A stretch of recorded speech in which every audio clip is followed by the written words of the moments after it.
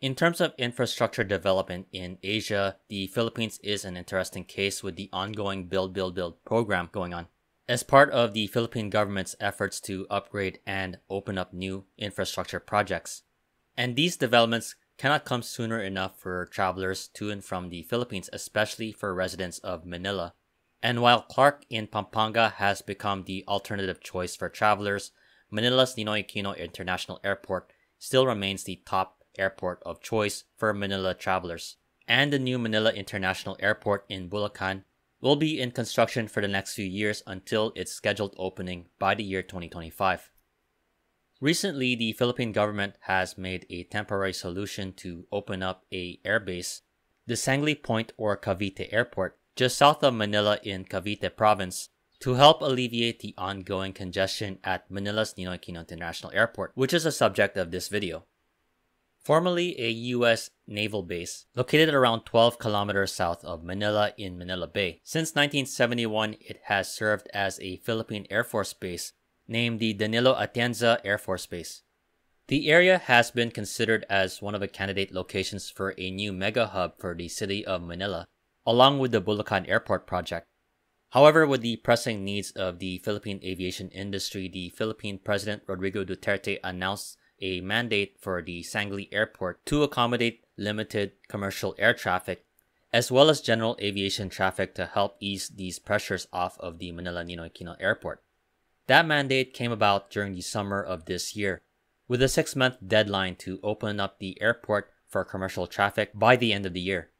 Since the mandate was issued, work was ongoing for 24 7 during the last few months to put up over 480 million pesos worth of upgrades, which included work to upgrade the runway with a length of 2,400 meters, the addition of some navigation aids, and a passenger terminal and a parking area capable of accommodating up to five turboprop aircraft.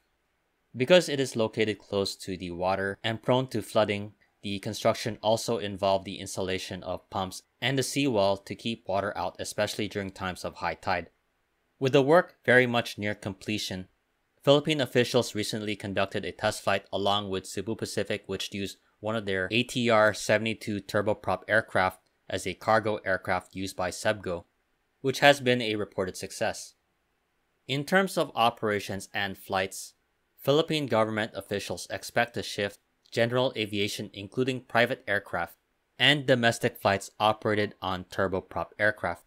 So far, the only airline that has committed to open up flights to and from Sangley Point has been Cebu Pacific subsidiary Cebgo, which will shift its domestic turboprop freighter operations to the airport.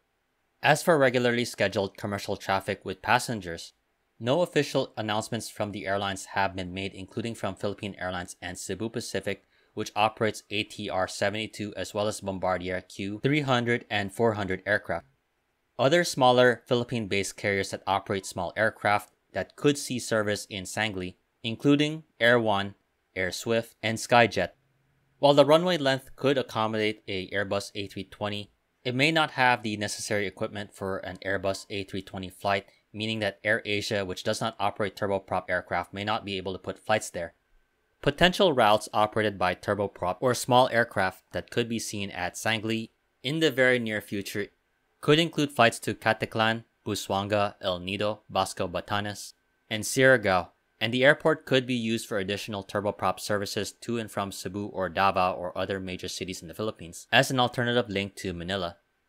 These routes will be interpreted heavily by the demand that the airline perceives in terms of the travel demands to and from Manila and the willingness of travelers to make the trek from Manila or where they are at in Luzon to the Sangley airfield though it would probably appeal to those living in southern Luzon and those living in the area of Cavite and the surrounding areas just south of the Manila airport.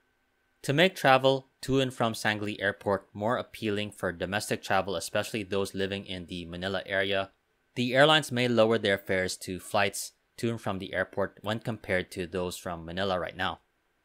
The Sangley Airport upgrades and the shift of some of the air traffic is a temporary fix to the Manila airport congestion issues, and the local Cavite government is still pursuing plans to build a new mega hub airport, which will involve some land reclamation in Manila Bay.